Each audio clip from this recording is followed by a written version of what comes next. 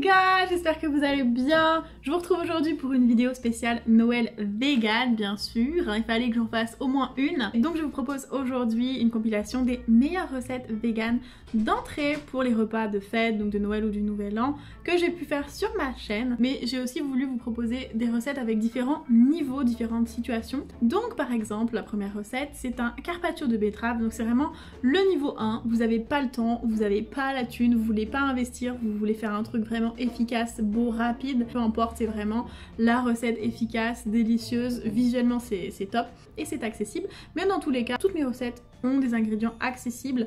Euh, on n'est pas sur euh, les recettes gastronomiques ou les recettes très compliquées que vous pouvez trouver sur d'autres chaînes YouTube ou dans des livres comme les livres de Marie Laforêt par exemple. Moi c'est vraiment euh, du véganisme accessible, simple que je vais vous donner. pour vous motiver à passer le cap à devenir vegan et aussi vous montrer que le véganisme c'est pas compliqué, c'est pas cher et c'est surtout délicieux. Donc la deuxième recette c'est des toasts. Là ça demande un petit peu plus de travail et de préparation mais encore une fois c'est faisable et là c'est pour par exemple une grande tablée, avec un grand nombre d'invités et vous pouvez faire ces recettes en grande quantité très facilement. Et la troisième recette, un peu plus compliquée je vous l'avoue, ça demande plus de technique, plus de patience et de temps euh, et les ingrédients aussi sont légèrement moins accessibles. C'est mes aumônières à la japonaise, j'adore cette recette. Je suis très influencée par la nourriture asiatique donc j'adore cette touche asiatique euh, à ce classique de la cuisine française. J'espère en tout cas que ces recettes vous plairont, euh, qu'elles vous qu'elles vous aideront et que vous passerez les meilleures fêtes de Noël. Et n'oubliez pas à la fin si ça vous a plu de mettre un petit pouce bleu et donc je vous laisse regarder mes recettes de Noël.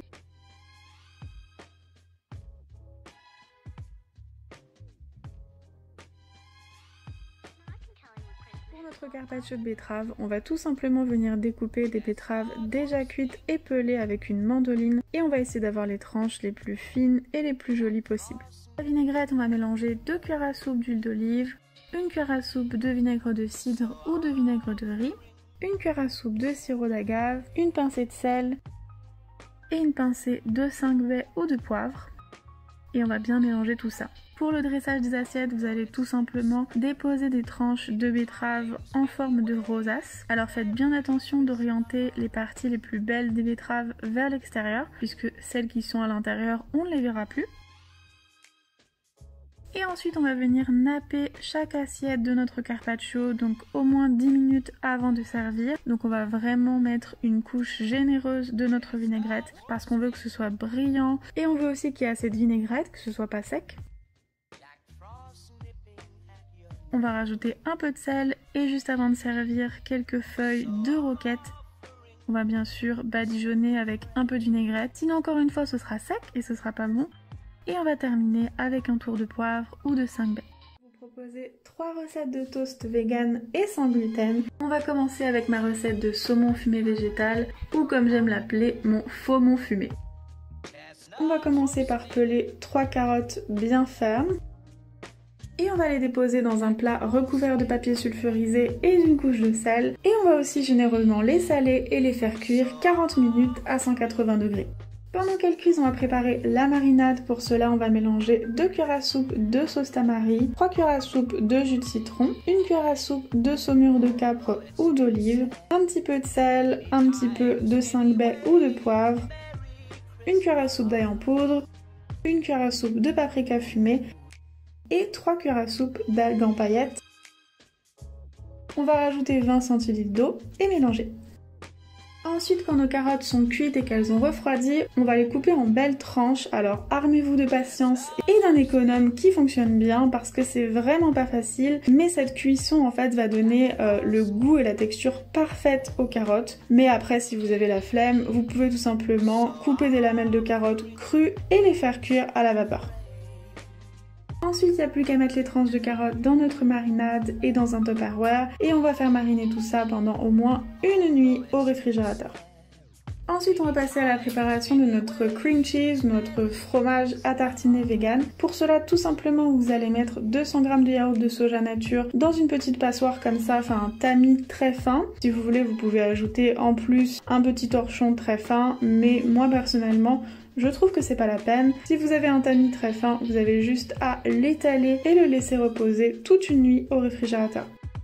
Et le lendemain, le yaourt aura perdu toute son eau et il ne restera plus que de la crème, donc il n'y aura plus qu'à la transvaser dans un petit bol. On va ajouter ensuite un petit peu de sel, d'ail en poudre et de jus de citron. Donc pour cela, c'est selon vos goûts, je vous laisse jauger et ensuite, il n'y a plus qu'à mélanger. On va pouvoir assembler nos toasts. Donc pour cela, on va mettre une généreuse couche de cream cheese et par-dessus une tranche de carottes et un petit peu d'aneth séchée. Pour notre deuxième recette, on va faire des toasts de tarama végétal. Et pour cela, c'est très simple, on va juste mettre tous les ingrédients dans un mixeur et mixer. Donc on va mettre 100 g de tofu fumé, 2 cuillères à soupe de jus de citron, 4 cuillères à soupe de yaourt de soja nature et 1 cuillère à soupe de margarine végétale, 1 cuillère à soupe de concentré de tomate, un peu de sel, un peu de poivre ou de 5 baies, 1 cuillère à café d'ail en poudre et 2 cuillères à soupe d'algues en paillettes. Ensuite tout simplement on va mixer. Alors moi je préfère avoir cette texture où il reste un tout petit peu de morceaux mais si vous voulez avoir un tarama complètement liquide, vous continuez à mixer et vous pouvez rajouter aussi un petit peu plus de yaourt de soja. Moi j'aime bien ajouter 2 cuillères à café de jus de betterave tout simplement pour avoir un tarama plus rose et ensuite vous n'avez plus qu'à le transférer dans un pot bien propre et le conserver au réfrigérateur pendant 2-3 jours. Et pour le dressage, rien de plus simple, on va juste mettre notre tarama sur des toasts ou des blinis. Et enfin, le toast le plus chic pour la fin, on va préparer notre caviar végétal.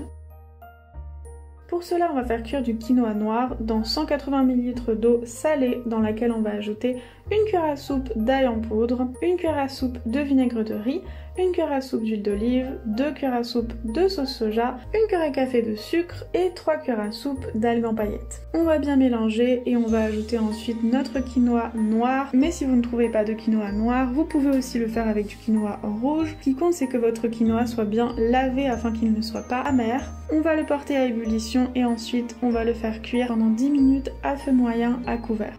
Quand notre quinoa est cuit, il n'y aura plus qu'à le transvaser dans un bol. N'oubliez pas de le laisser reposer après sa cuisson pendant 10 minutes hors feu à couvert. On va rajouter un petit peu de jus de citron, un petit peu d'algues et de sel pour le goût. Et si vous avez du quinoa rouge comme moi, tout simplement vous ajoutez une cuillère à café de charbon végétal et ça va le rendre bien plus foncé, bien plus noir. Pour le dressage, on va mettre une généreuse couche de notre cream cheese et tout simplement ajouter un petit peu de notre caviar. Et pour faire joli, on va rajouter quelques tiges d'oignons nouveaux ou de ciboulettes. Pour la garniture de nos aumônières, on va faire cuire des shiitake séchés pendant 10 minutes dans de l'eau bouillante qu'on aura préalablement fait tremper pendant 10 minutes dans de l'eau chaude.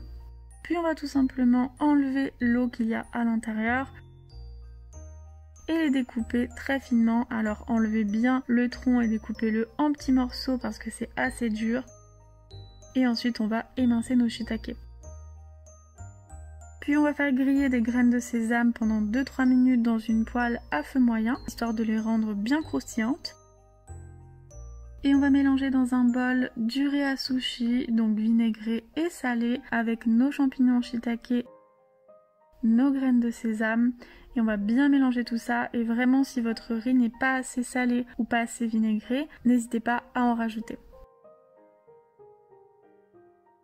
Pour notre omelette vegan, on va mélanger de la farine de pois chiche avec de la farine de riz gluant, une pincée de sel, deux cuillères à soupe de fécule de maïs qu'on va bien écraser histoire de ne pas avoir de grumeaux, une pincée de curcuma pour la couleur qu'on va bien mélanger et ensuite on va ajouter de l'eau froide jusqu'à avoir une consistance de pâte à crêpes assez liquide et bien évidemment sans aucun grumeau. Ensuite on va venir badigeonner d'huile neutre le fond d'une poêle anti-adhésive sur feu moyen et on va venir faire cuire nos crêpes et on va essayer qu'elles soient les plus fines possibles et les plus grandes. Donc essayer de répartir au mieux la pâte. On va les faire cuire 30 à 40 secondes sur feu moyen. Puis quand elles sont bien jaunes, on va très très délicatement, faites vraiment très attention, les retourner. Donc voilà, essayez de faire sauter la poêle pour qu'elle se décolle. Et on va ensuite, pareil, les faire revenir 30 à 40 secondes sur feu moyen, voire sur feu doux, afin que les suivantes ne crament pas.